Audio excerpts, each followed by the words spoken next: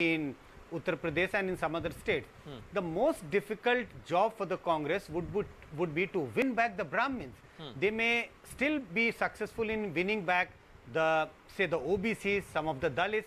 The biggest challenge would be to win back Brahmins. Hmm. So I think the strategy which Congress is trying to adopt by if we go by the statement given by Surjewala, it's only adding to the confusion. It gives an indication that there is no plan for Congress how they want to go, uh, go into elections, So whether they want to woo the Dalits or they want to get back the Brahmins. So, to me, it only demonstrates that Congress is in a confusion. What kind of an electoral strategy they should pursue? What kind